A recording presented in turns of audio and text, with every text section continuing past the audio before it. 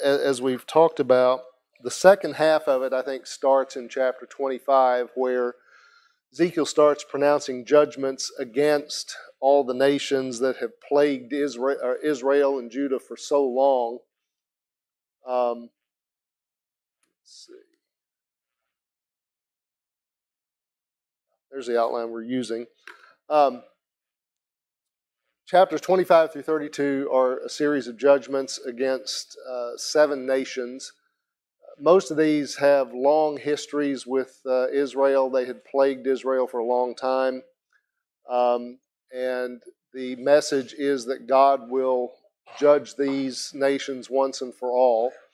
And also, there's a brief paragraph sort of in the middle of that section where he talks about hope for Israel because of these judgments, Israel will, Israel's position would be uh, established, and God, uh, God and His people would be vindicated. What brings us to a climax is chapter 33, where in chapter 33 you've got um, the messenger who comes and gives uh, the, the report that the city of Jerusalem has fallen. So here's someone who witnessed it fall, and then he is taken exile and uh, the date on this uh, is several months after the fall of Jerusalem. So they get message that uh, the fall has taken place. And, and, that, if you recall, as we've talked about in the chronology of the book of, of Ezra, he's, um, he uses a typical formula is the year, the month, and the day. He gets pretty precise. And how he uses his dates, say, in contrast to, let's say, uh, uh, Jeremiah. Jeremiah's dates are all over the place. Uh, there's nothing sequential about the dates in Jeremiah, but uh, Ezekiel's, for the most part, with with a couple of exceptions, his dates are sequential. So he starts on this date, and he gets us closer and closer to the fall of Jerusalem, and then finally, chapter 33, the fall of Jerusalem has happened. So it kind of brings to a close everything that he's been talking about uh, up to this point. Then, starting in chapter 34, most of this becomes hopeful types of prophecy, where uh, we he's looking to the future of, of Israel. Uh, I think most of these, most of them, not all of them, I think, are about the Messianic era when the Messiah would come. He would bring relief.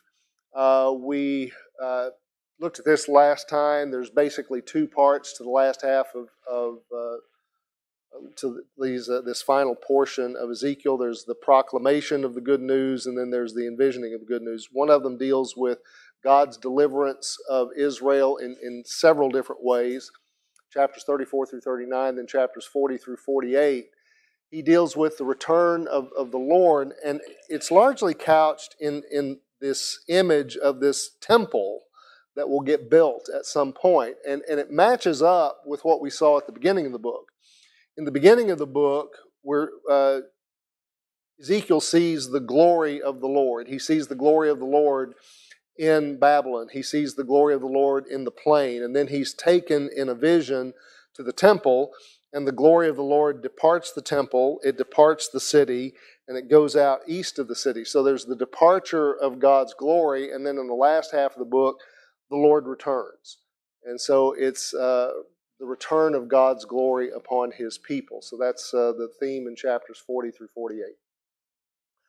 This is what we we looked at chapters 34 through 37 last time. The imagery of God putting new shepherds over his flock.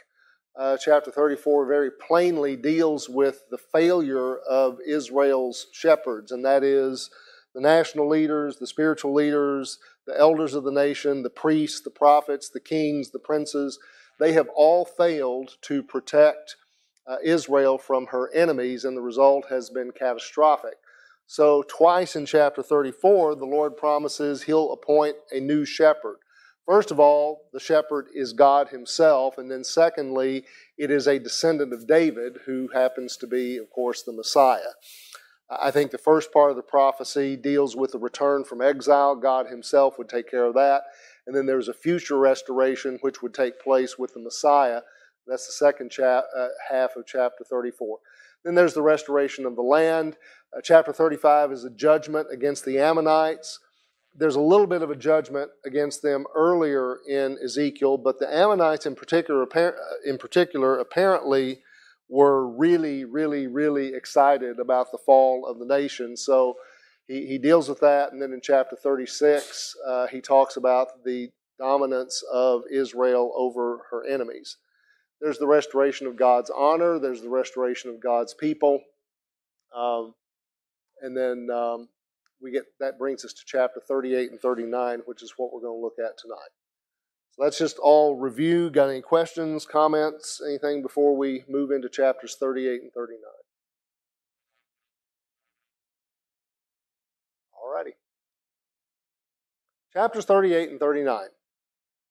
What he envisions here is these odd named figures Gog of Magog, Prince of Rosh, and uh, this enigmatic, odd, not really easy to identify character comes along with this massive army that just completely covers the nation of Israel.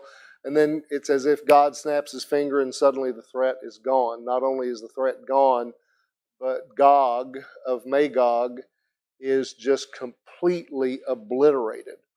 So it comes in the form of, of a futuristic kind of battle. But the point is that, you know, if you look at the previous chapters, God has promised protection and salvation for his people. And uh, having returned them to their land, his, his point is God will always protect his people. Now, there's some interpretive issues that come up, and we'll talk about that as we go through. Uh, so, chapter 38 is primarily the defeat of them, and then chapter 39 is primarily the, the idea of their disposal, what God plans to do with them after they are defeated.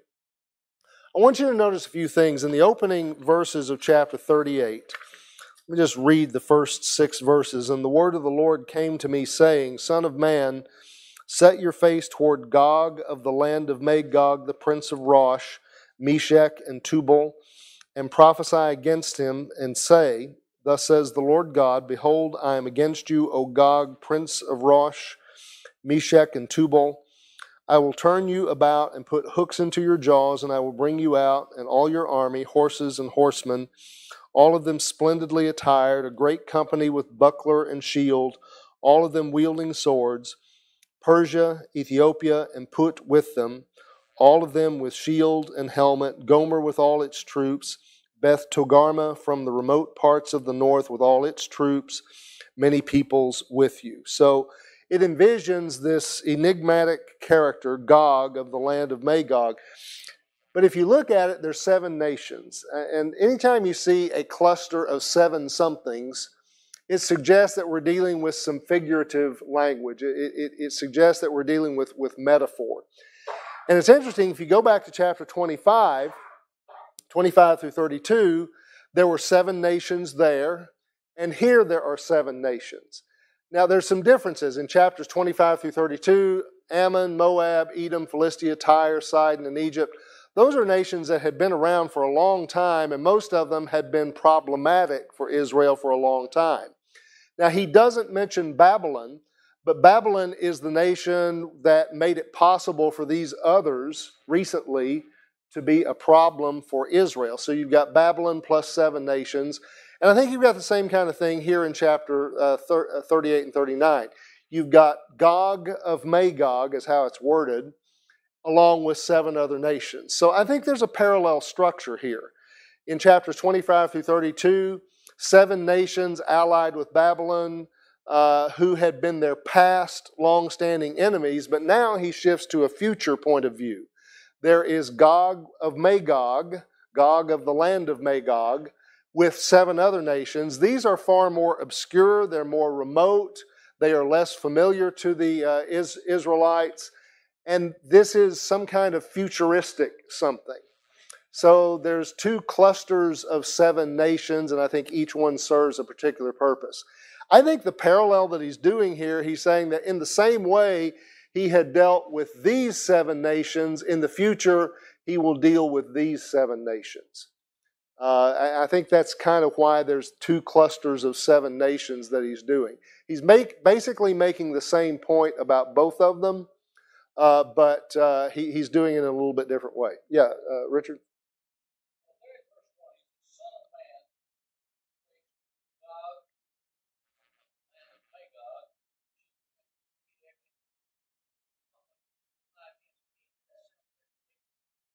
Yes. Gog is a person. Gog is who he is prophesying against. Yes, I believe it is. I'm going to get to that in a moment. Yep. Um, yeah. Yeah, I'll get to that in a moment. Same question he had, basically. But just I just wanted to show you something about the structure. I think this is significant that you've got two clusters of seven nations associated with another nation that's powerful. Okay, that, that's all I wanted you to see.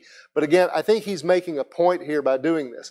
In the same way that these long-standing, old, past enemies of, of Israel have been defeated by God, in the future, any enemies that come along, and I think these are just seven representative. Again, the number seven, I think, has significance here. It, it just means a, a, complete list, if you will.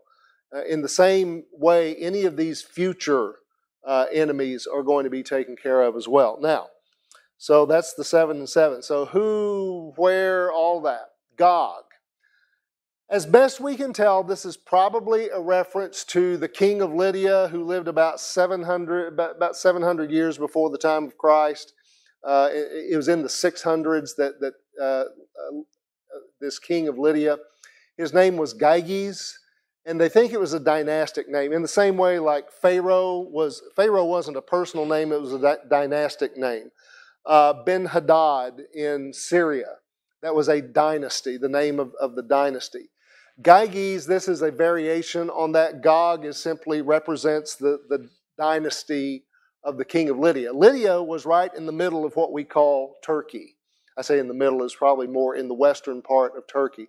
It was an ancient Anatolian kingdom. Okay, so he's. I think all of these actually have a basis in in uh, ancient places. These are real places. These are not made up names.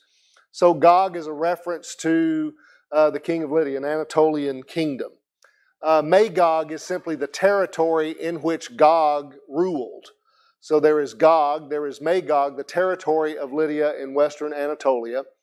Rosh is simply a prince, and I think it's, it's just a reference, it's not a place. Now, how the New American Standard uh, renders it, I forgot to start my Facebook thing.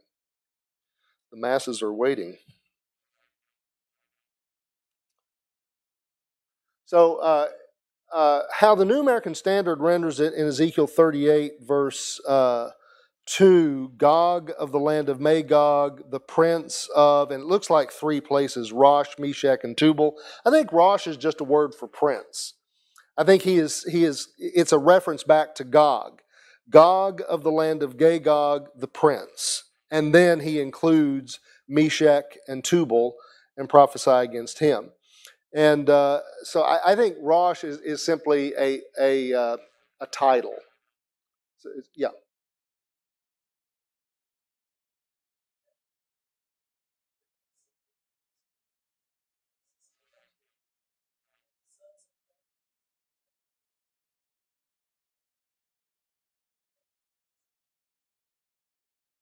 Oh, I, yeah, I think they're all tied because if you look at this, most of these places are in Turkey.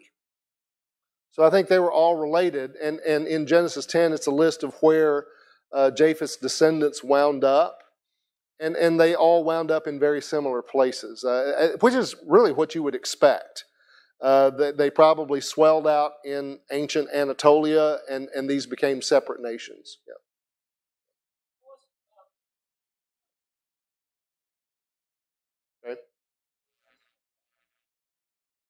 How does the ESV read? How does the ESV read?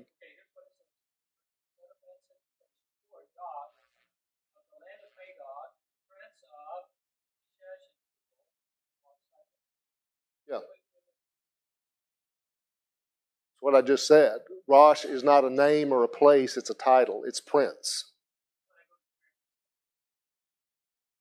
Yes. It's, it's how you, it's just a different way of translating it. Some translate it as a place name, some translate it as a title.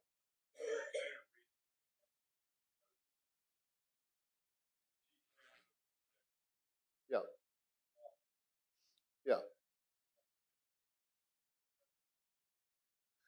Yeah, in this in this particular case, uh, he his headquarters is in Lydia but he has influence over these other places, uh, Meshech and Tubal. Meshech was another old kingdom in Anatolia. Tubal was another old kingdom in Anatolia, which was east of Meshech. If you were, I tried to find a map, and I couldn't find any that that weren't uh, basically dispensationalist maps.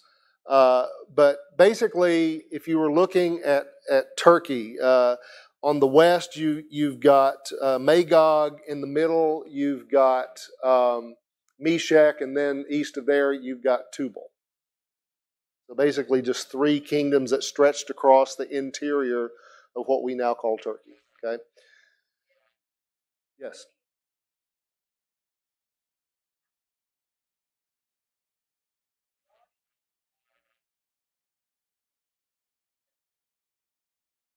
Well, uh, that's what the ESV says, or uh, New American Standard footnote. Yeah.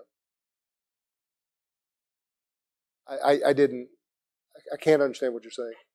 Aquila? Okay. That I'm not sure about. Um, I'll take your word for it. Um, what, folks, what we're seeing here is different ways to translate the Hebrew text. That, that's all it is. Anytime, and what I suggest to people is read different versions. Read the New American Standard, read the NIV, read the ESV, and what and when you see differences like that, what you're seeing is different ways to translate the same thing. Uh, a lot of times we think that translating a text is, is just, well, here's this word, here's this word. You can translate a text a dozen different ways. Uh, and, and different versions have different translational philosophies. I think this is my opinion. In my opinion, Rosh is simply a word that means prince. Gog of the land of Magog, he's the ruler of the land of Magog, and he is the prince over these surrounding territories. I think that's the best way to understand it. Okay, moving on. Um, okay, then after that, later in the text, he mentions Paras is, is the literal Hebrew word. It's probably Persia. Uh, and then he mentions Cush or Ethiopia. He mentions Put, which is probably Pathros, which was a city in the upper part of, of Egypt. And then later he mentions Gomer. Gomer was a place that was north of the Black Sea. Uh, probably in modern times it would, it would equate to uh, probably part of Russia. And then Beth Togarmah, which was eastern Anatolia, way east in, in Anatolia. Most of these are centered in Turkey. Now, the significance of this, I think, is this he goes, for, again, you go back to chapter 25, seven nations. They were all old, familiar enemies. They had been around for centuries and centuries. Here, these are places that are, they're very old kingdoms, but Israel hadn't had much of anything to do with them. Uh, Israel really didn't know much about these. Uh, in the, at this point, Persia was really a very small place and had very little influence. Now, in a few years, they will become huge. The only really familiar ones here would be Cush and uh, possibly Put. Beyond that, these are unfamiliar places. Also, there's kind of an extremity in how these uh, are grouped. You've got Ethiopia and Pathros, which are way in the south. Then you've got some in the middle, and then you've got some way in the north it's basically describing an expanse of nations from the extreme south to the extreme north. Basically, every place they could conceive of, you've got nations coalescing against Israel at some distant time in the future. Okay? Don't get hung up on the geography. Basically, these are old kingdoms. Most of them are located in Turkey, uh, and they're unfamiliar. This is, again, this is a futuristic thing they are very unfamiliar to the Israelites. And yet, at some point in the future, these mysterious, enigmatic nations come together to bring an assault against God's people.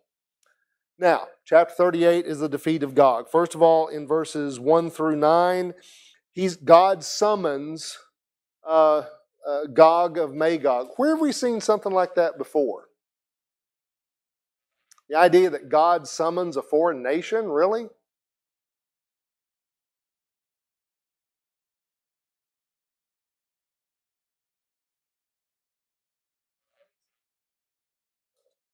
Yeah, he did it with Babylon. He did it with the Assyrians. Uh, in Isaiah, Isaiah refers to Cyrus, my servant, uh, 150 years before he was born. Uh, so God used foreign nations to accomplish his purposes. That there's nothing new about that. This is just different. It's enigmatic. It's way in the future. Uh, so he conscripts these nations. Look in verse 8. When is this going to happen? In the latter years. And in verse 16, in the last days. Uh, in biblical prophecy, now some interpret that as at the end of time, but if you go to the New Testament, the concept of the last days or the latter times is the New Testament era, the Messianic era. And I think that's the, the best interpretation of it. But God summons them, He conscripts them to bring all of these troops together. All of these nations come together. And if you'll notice, they're going to come to the land that is restored from the sword, verse 8 whose inhabitants have been gathered from the many nations to the mountain of Israel. So uh, they come to Israel post exile, okay? And not just post exile, but Israel now is living in peace. And then verses 10 through 13, here's their motives. This is what Magog or Gog and Magog are thinking. It will come about on that day, verse 10 thoughts will come into your mind, and you will devise an evil plan, and you'll say, I'll go up against the land of unwalled villages. I will go against those who are at rest that live securely, all of them living without walls and having no bars or gates. And I want to stop there. What's the significance of a city not having bars or gates? They don't have them because they feel safe. So this is projecting into an entirely different era for Israel. When was Israel ever to, able to live in their land without bars and gates? Never. But this is projecting a totally different time. I think it's talking about the messianic era when they could they could live in peace without worrying about external assault. And they come, verse 12, to capture spoil, to seize plunder, to turn your hand against the waste places which are now inhabited, against the people who are gathered from the nations who have acquired cattle and goods and, and live at the center of the world. And uh, Sheba and Dedan and the merchants of Tarshish with all its villages will say to you, Have you come to capture spoil? So in verses 10 through 13, Gog of Magog thinks, Well, we're going to walk in this place and just take everything. So that's the motives of what's going on. Verses 14 through 16 describe the advance of them. They come in from the far north, the remote parts of the north, you and many peoples with you, all of them riding on horses, a great assembly, mighty army. You'll come up against my people, Israel, like a cloud. By the way, he used that same phrase back in verse 9 when he summons this army together. They basically cover Israel like a cloud. It shall come about in the last days that I will bring you against my land, so that nations may know me when I am sanctified through you before their eyes, O Gog. Now, verse 16 you might want to think, okay, God's going to use Gog to do something to his people. Uh uh How is God going to be sanctified through Gog?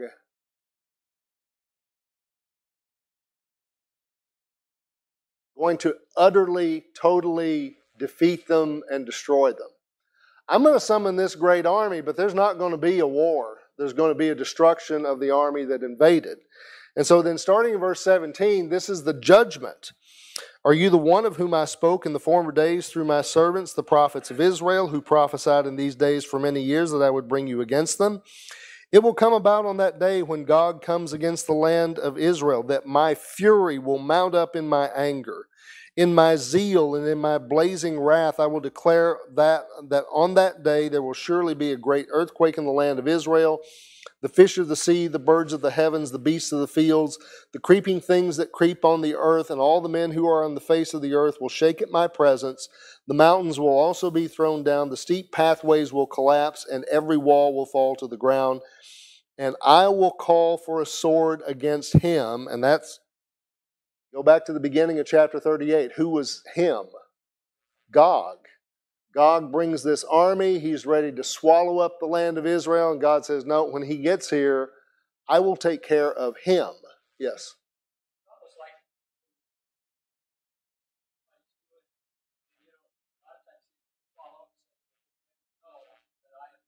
Yes. Well, up to this point, just about every time he has said, then they will know that I am the Lord, he's usually talking about judgments against Jerusalem or Israel. I'm going to judge them, and everybody will know because of my judgments. He also said the same thing in chapters 25 through 32 when he passed judgment against the nations. Uh, when he judges these nations, everyone will know that I'm the Lord. Now, it's shifted. It's, it's away from judgments against Israel, it's going to be judgments against these other powers. Any future threat that comes along, God would take care of them, and they will know that I am the Lord. Um, and so um, uh, every man's sword will be against his, um, against his brother with pestilence, blood. I will enter into judgment with him. Uh, I will rain on him, on his troops, on the many peoples who are with him, a torrential rain with hailstones, fire, and brimstone. I will magnify myself, sanctify myself, make myself known in the sight of many nations, and they will know that I am the Lord. So, all of this is done ultimately for God's sake. Ultimately, the Lord does this for his reputation. Uh, this is not just to vindicate his people, this is to vindicate God uh, and his reputation. Okay? All right, so that's basically chapter 38. Got any comments or questions?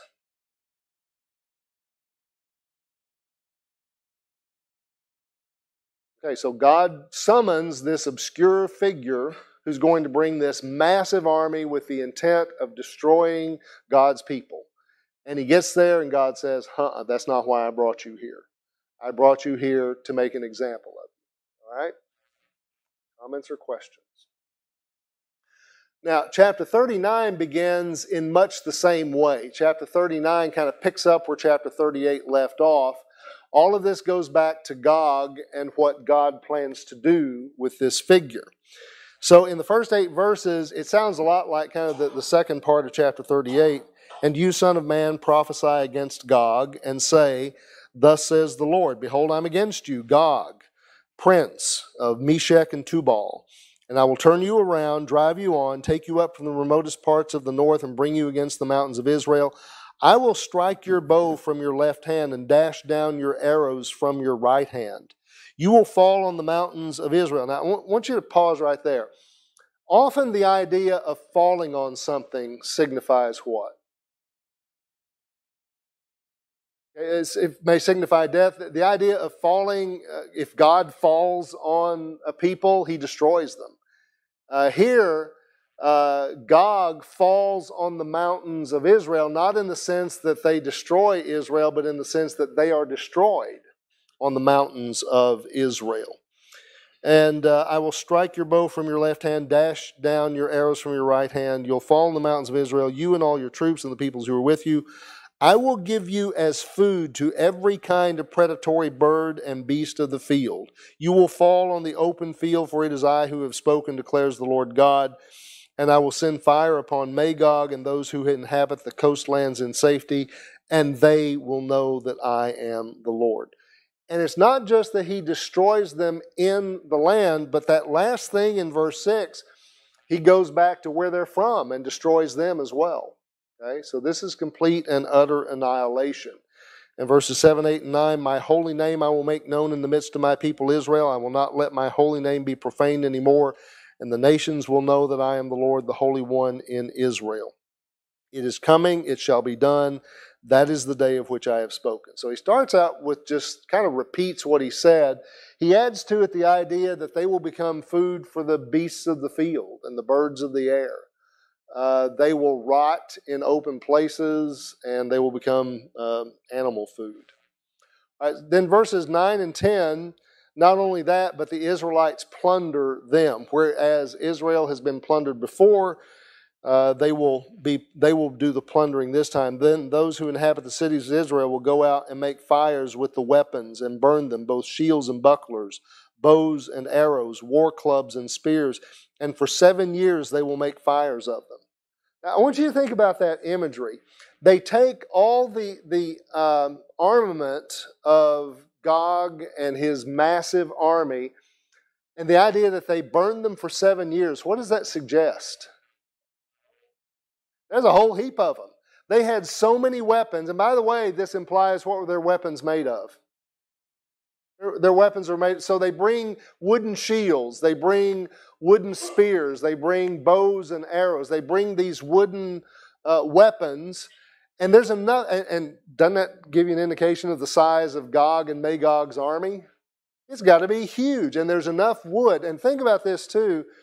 In, in ancient Israel, wood was actually pretty scarce most of the trees that grew in Israel just looked like scrub brush. I mean, just they weren't very big at all. So wood was a fairly rare thing. There's enough wood here to burn for seven years. Okay, so uh, there's enough wood here for seven years. They'll make fires with the weapons.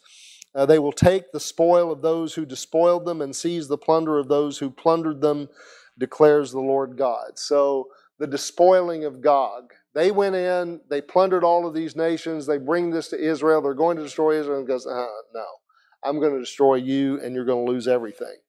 Then verses 11 through 16, not only is that, not only are they going to be destroyed and plundered, they're going to be buried, okay?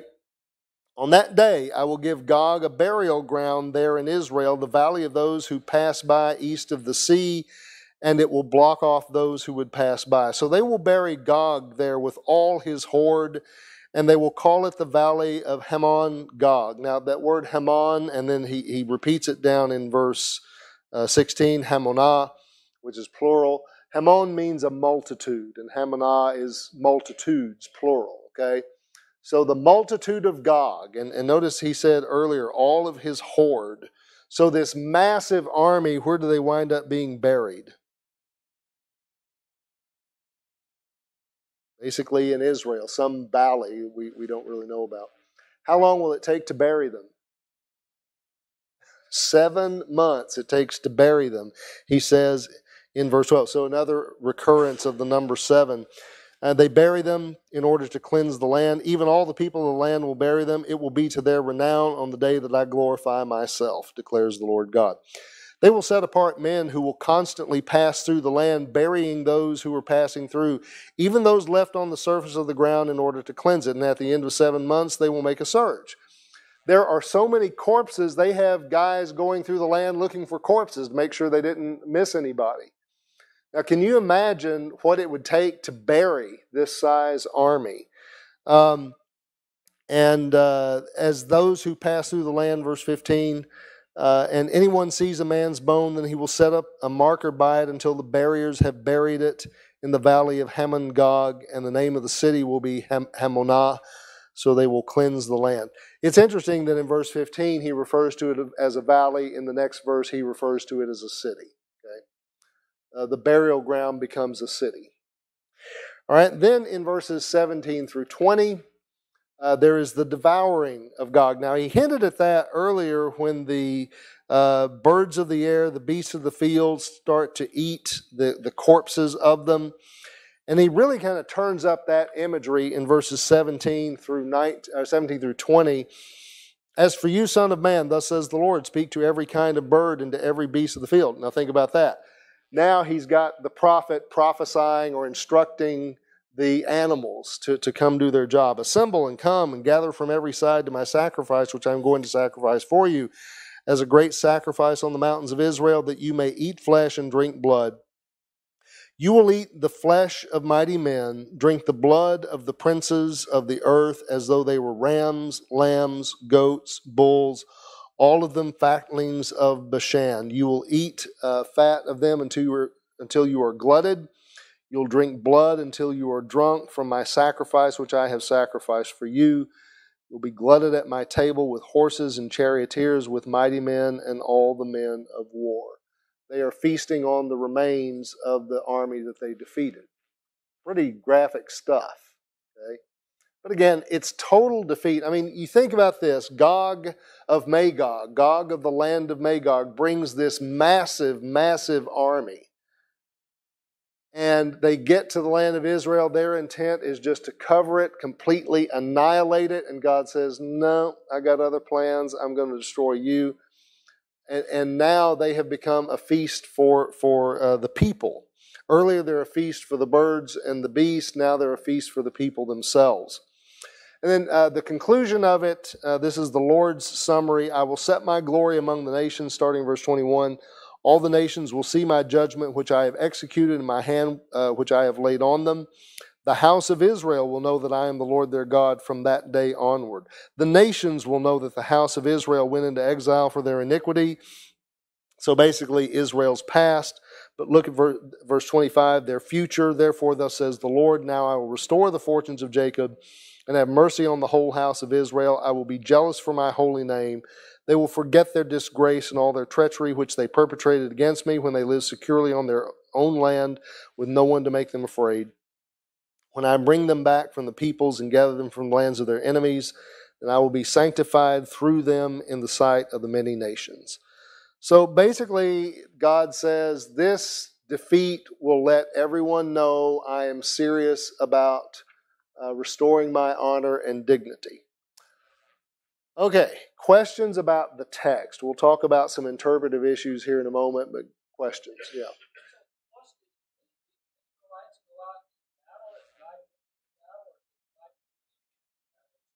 They didn't do a thing. There is no indication here that, that they even lift a finger. They're dwelling securely in their cities without walls. This massive army comes up, and God says, You're done. And the only thing that we're told about Israel is they get to get the spoil of Gog and they get to they get a feast. And they spend a lot of time burying corpses. Israel does nothing. There's no actual battle here. And that suggests that we're dealing here with a lot of figurative ideas. Not a literal army, not a literal battle, but just again, the imagery that he uses suggests that this is something different, that he has something different in mind. Uh, yeah.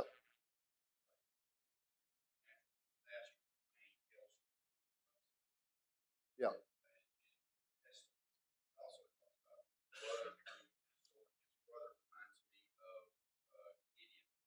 Yeah.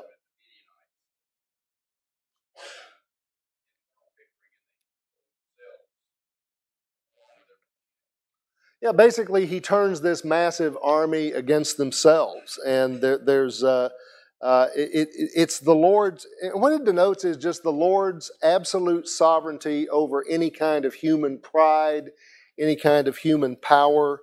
Uh, it's it's the idea that uh, the Lord will just take care of this. He's got the resources to do it, and and the idea of brother against brother. And this is one of the reasons why I connect it with the Messianic era Remember in uh, Matthew chapter 10, Matthew chapter 10, verse 21 brother will betray brother to death, a father against his child, children will rise up against parents, cause them to be put to death. Uh, the gospel itself would turn family members against family members. And I think that's something of what he's, he's talking about here. Let, let's move ahead a little bit before we run out of time. Okay, just look at the big picture. Number one, there is a shift from past familiar enemies to future unfamiliar imageries. And the enemies from the extremities of the north and south, he says they come from the north, but there are also some southern enemies. I started to say M&Ms. Uh, wow, I wonder what I was thinking. Um, it's an indefinite future time period. You know, this is not like Daniel who says this happens after so many weeks and and, and that kind of thing. This is just a future indefinite time, but it matches up with the kind of language we see elsewhere in the Old Testament prophecies. It's stuff we see in the New Testament. Uh, Acts chapter 2, uh, when the apostles preached to the crowd at, on the day of Pentecost, they quote from Joel, in the latter days, same, same uh, phraseology here, my spirit will be poured out on mankind. And Peter says, You're looking at it. The latter days had come. And uh, also, there's some language and imagery here that's kind of impossible to interpret uh, literally. Now, look at this. Repeated use of the number seven. I don't know if you picked up on this. Okay, so verses two, uh, let's see, hang on here. I think I've got a chart on this. Uh, repeated use of the number seven, the valley that becomes a city. And it, it's a judgment against a small place on the map, a judgment against Israel, and yet it involves the whole earth. So again, this, this is symbolic in nature. Sevens. Seven times in chapters 38 and 39, this exact phrase occurs. Thus says the Lord God. Seven times. There are seven nations. I showed you that at the beginning of the text in chapter 38, verses 2 through 6. There's a listing of seven judgments in chapter 38, verses 21 and 22 the sword, the pestilence, the blood, the rain, the hailstones, the fire, and brimstone. Seven judgments are brought against Gog of Magog. There are seven types of plunder when you get to chapter 39, verse 9 weapons, shields, bucklers, bows, arrows, war clubs, spears. So, seven different kinds of weapons, and they burn for seven years. Twice in, so, twice in one verse, there's a double reference to the number seven. Takes seven months to bury the dead in chapter 39, verse 12. And then when you look at the feast, the Israelites feast on the, the remains of their enemies, seven items the flesh of mighty men, the blood of the princes, rams, lambs, goats, bulls, uh, and, and fatlings. So, seven items on the menu. So, the repeated use of the number seven, I think the readers of Ezekiel would have heard that. Okay, this is symbolism here. Um, also, some problems with kind of taking this uh, at, at, at literal face value. You got long dead kingdoms, kingdoms that had not existed for centuries. Remember, Gog is a dynastic name that dated to seven centuries before the time of Christ, and yet he's projecting into the future. And most of these uh, allies, uh, earlier, uh, even the ones like with the references to Egypt, remember what um, uh, uh, Ezekiel said earlier. Ezekiel's or Egypt's going to be totally wiped out. Uh, they're going to lose their significance as a nation. They would never have the dominance that they would ever have again. So long dead kingdoms suddenly get revised. So I think it suggests that we're dealing here with, with figurative ideas, figurative language. The use of horses in modern warfare. Um, I remember, it probably doesn't take, uh, some of you probably remember this, but remember back in the, uh, like particularly in the 70s, every dispensationalist on the planet was predicting that, that Russia was the fulfillment of Gog and Magog, and they're going to bring their, their nuclear weapons. If you take this literally, you can't do that. Oh, yeah, yeah. Uh, remember, um, oh, uh, uh, what was the guy's name? Hal Lindsey, yeah, Hal Lindsey's uh, late great planet Earth and all those. The thing is, he was saying that Russia and their nuclear weapons and their massive army is the fulfillment of that. Huh? In this text, they're riding horses; they're not riding tanks. Yeah, yeah, and and so the, the problem is every place that's listed at the beginning of chapter thirty-eight is rooted in history. Not that he uses them in a futuristic way but, but to apply it literally breaks down.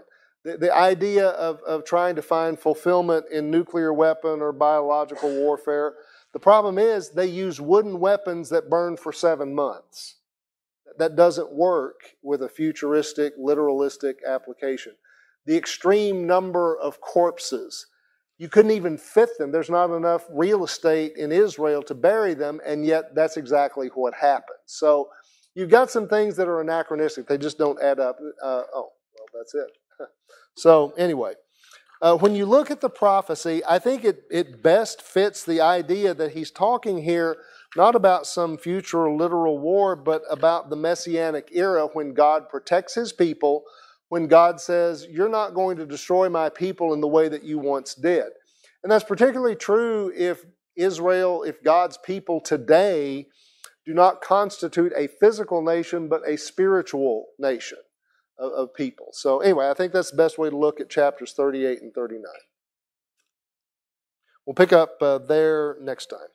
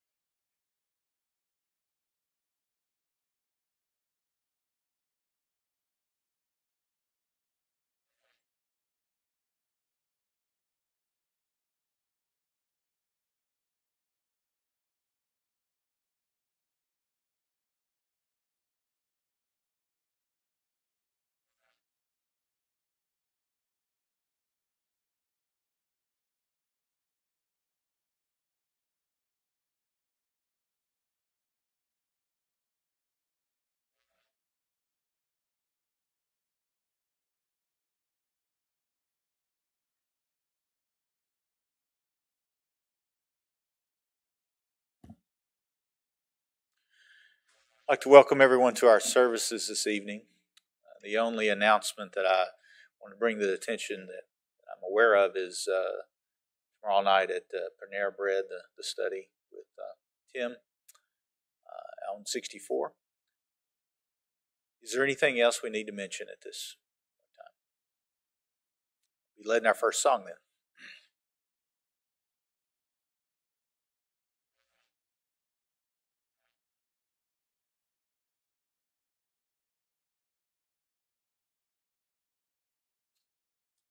248, Christ arose.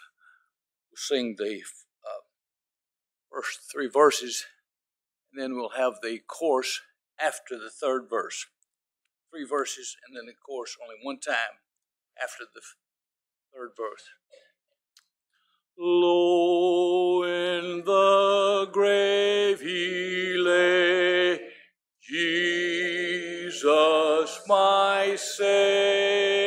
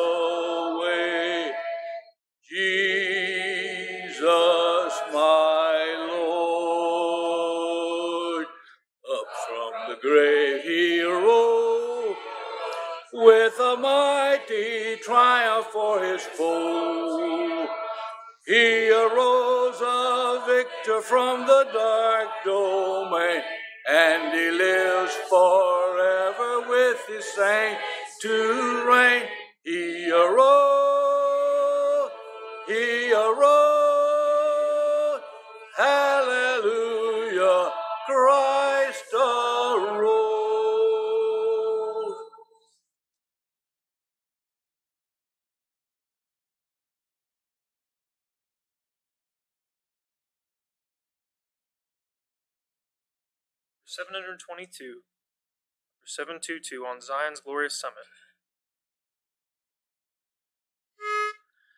Mm, no so on Zion's glorious summit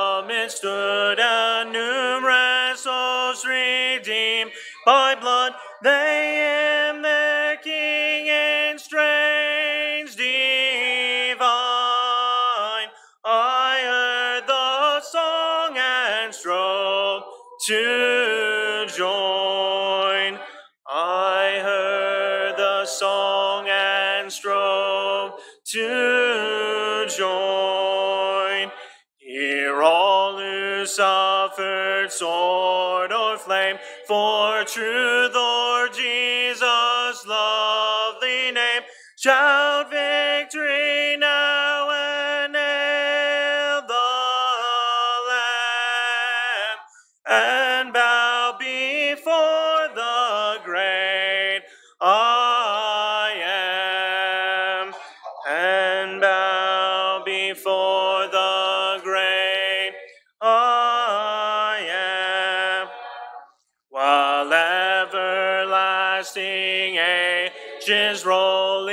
eternal love shall feast.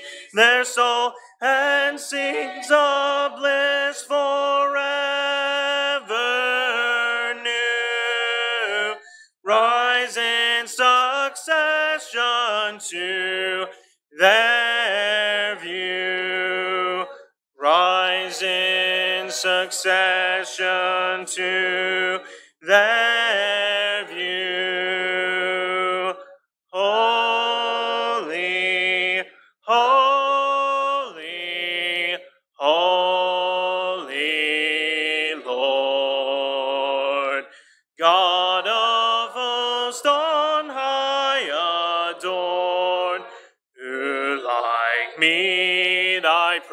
should sing. O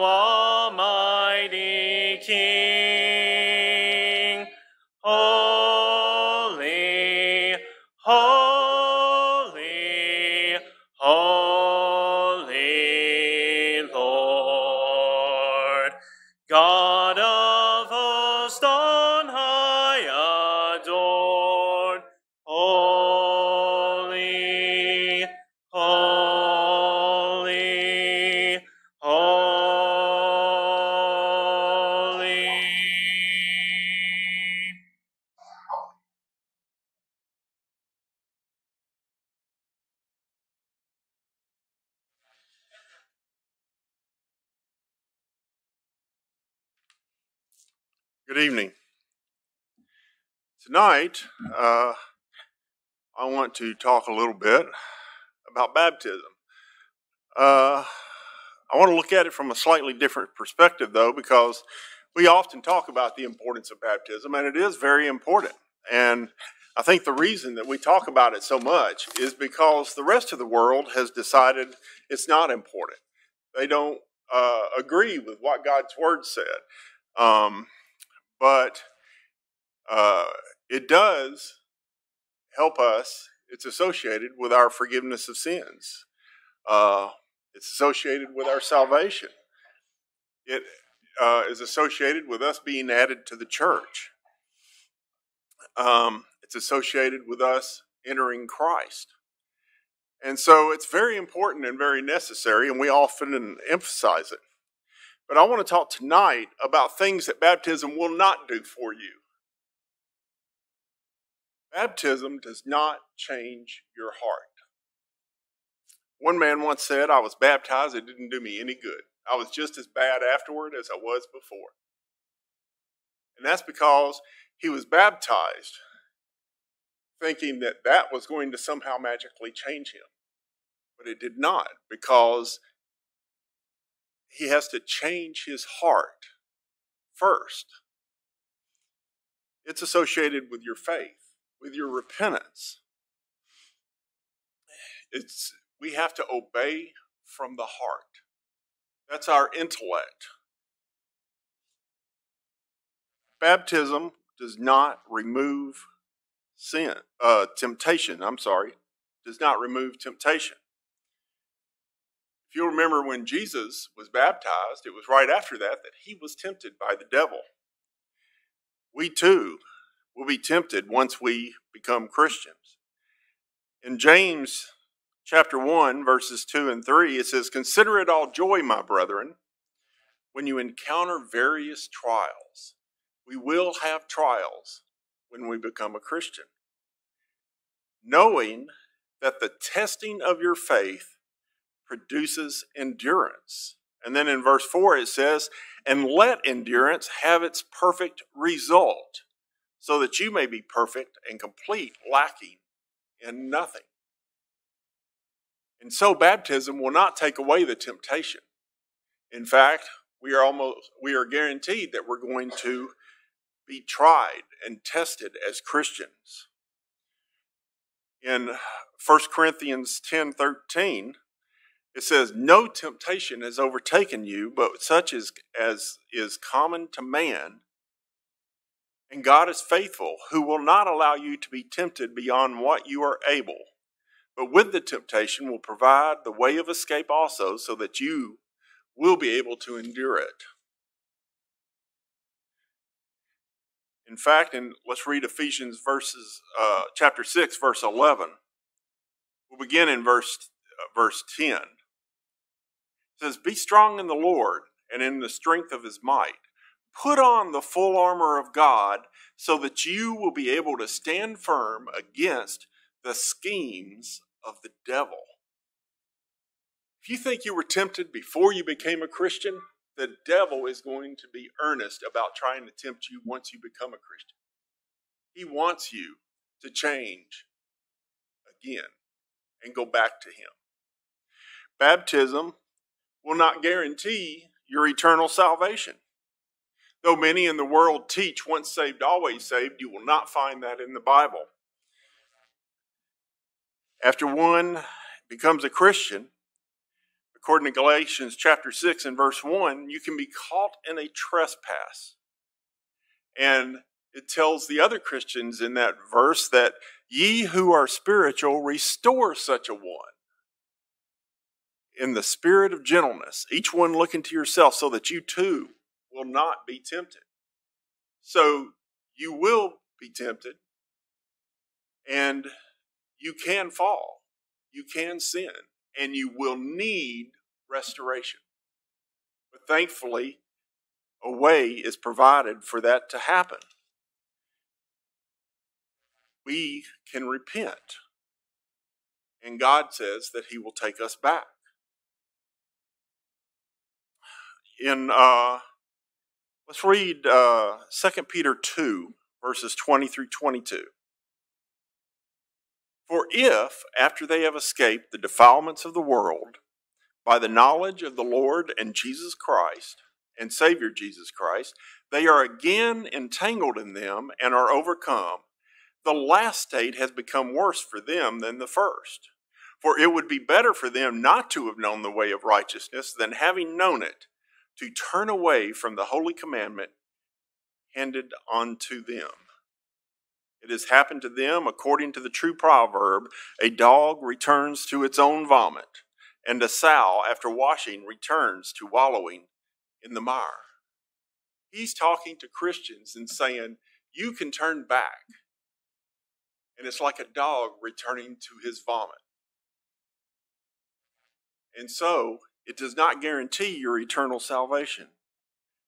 But we can be obedient. We can ask for repentance. I mean, uh, we can repent and ask for forgiveness. And God says that He will take us back. Baptism is not the end of obedience, it is the beginning. It's the beginning of a brand new life in Christ. And so, tonight, I just wanted to say a few things because most of us are Christians and we know that we have to believe. We have to repent. We have to confess. We have to be baptized, but it's just the beginning. We then have to be faithful until death. And so baptism will not automatically get you a seat in heaven. Baptism will get you into Christ. It will get you into the church. And then you have to be faithful until death. We have to be faithful until we receive what's called the crown of life in Revelations 2 and verse 10. Baptism is essential, it's very important. You cannot be saved without it. But just as faith alone cannot save you, baptism alone can Maybe you aren't a Christian tonight and you want to be. Tonight's the time. The water's ready. If you believe, if you're willing to repent, you're willing to confess Christ, then you can be baptized and you can be added to the church. And you can start your journey to heaven. If you need to repent because you haven't been faithful, then now's a good time to do that as well we can serve your spiritual needs in any way right now, please come while we stand and sing.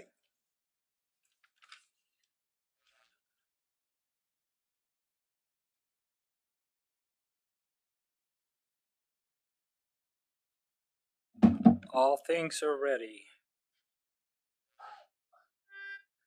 So all things are ready. Come to the feast. Come, for the table now is spread. Ye famishing, ye weary, come, and thou shalt be richly fed. Hear the invitation. Come, whosoever will. Praise God for full salvation for whosoever will. All things are ready. Come to the feast. Come, for the door is open wide.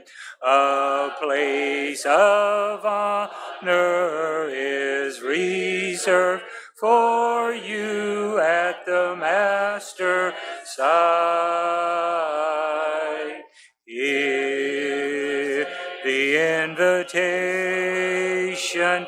Come, whosoever will.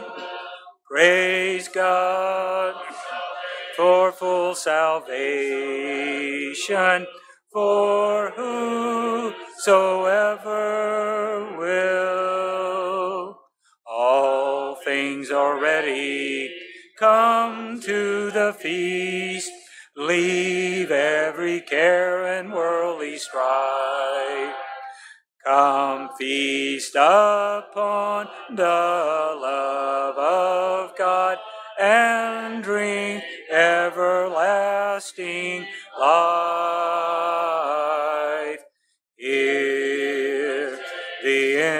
Invitation. Come whosoever will. Praise God for full salvation for whosoever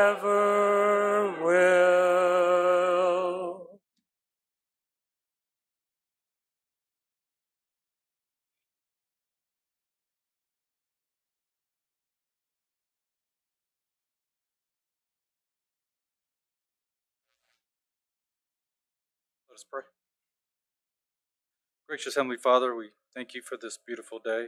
We thank you for this opportunity to sing praises to you, to open your word, to study your word. Heavenly Father, be with us as we continue on life. May we always be that shining light that will bring someone to you. Heavenly Father, be with those who are sick. Reach out your hand, heal them if it's your will, and bring them back to us. Heavenly Father, as we continue on in our lives, may we always keep you in our hearts and our minds. For these things we give blessing and praise through your Son,